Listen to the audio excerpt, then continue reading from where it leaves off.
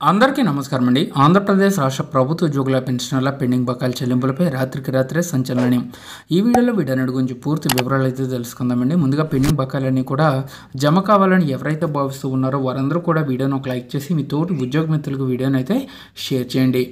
ఛానల్ని first time కనుక visit చేసినట్లయితే తప్పనిసరిగా సబ్స్క్రైబ్ చేసుకుని పక్కన ఉండే బెల్ సిమ్మల్ని యాక్టివేట్ చేసుకోండి.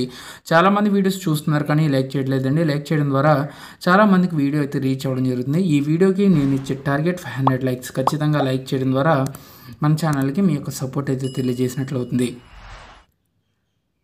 సెప్టెంబర్ ఒకటిన సిపిఎస్ ఉద్యోగుల చలో విజయవాడ. సిపిఎస్ బకాలపై జూన్లో ఆందోళనలు. ఏపీ సిపిఎస్ఈఏ రాష్ట్ర కార్యవర్గ సమావేశంలో నిర్ణయం.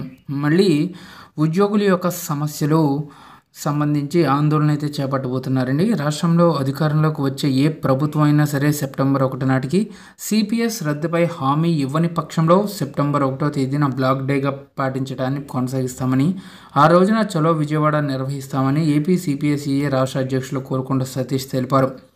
సిపిఎస్ ఉద్యోగులకు జరిగిన అన్యాయానికి బాధపడకుండా ఉద్యమానికి సిద్ధంగా ఉండాలని పిలుపునిచ్చారు. ఏపీ సిపిఎస్ఈఏ ఏర్పడిందే సిపిఎస్ రద్దు కోసమని అది సాకారమైతే తమ డిమాండ్ పరిపూర్ణమైనట్టేనని అన్నారు. శనివారం విజయవాడలో ఏపీ సిపిఎస్ఈఏ రాష్ట్ర కార్యవర్గ సమావేశం జరిగింది. ఈ సమావేశంలో ఇరవై ఆరు జిల్లాల నుంచి సంఘ కార్యవర్గ సభ్యులు పాల్గొన్నారు. ఇటీవలే జరిగిన ఎన్నికలు తదుపరి పరిణామాలపై ప్రాథమికంగా చర్చించిన అనంతరం సిపిఎస్ ఉద్యోగుల చిరకాల సమస్యను పరిష్కారం చేసుకోవడానికి వీలుగా భవిష్యత్తులో అనుసరించాల్సిన విధానాలపై ఈ సమావేశంలో చర్చించారు.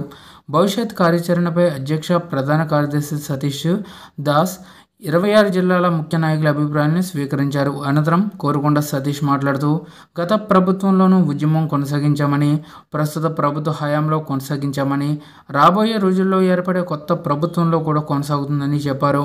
సిపిఎస్ రద్దు అయ్యే వరకు కూడా ఏపీ సిపిఎస్ఈఏ పూరు ఆగదని రెట్టించిన ఉత్సాహంతో ముందుకు వెళ్తుందే తప్ప తగ్గదని స్పష్టం చేశారు.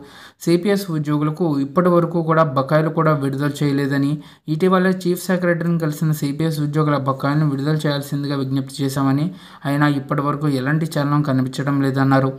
బకాయిలపై వచ్చే జూన్ నెలలో ఉద్యమానికి సిద్ధమవుతామని ఈ సందర్భంగా హెచ్చరించారు. సో ఇదండి ఇవాళ ఎంప్లాయ్ సంశోషన్ తాజా updates.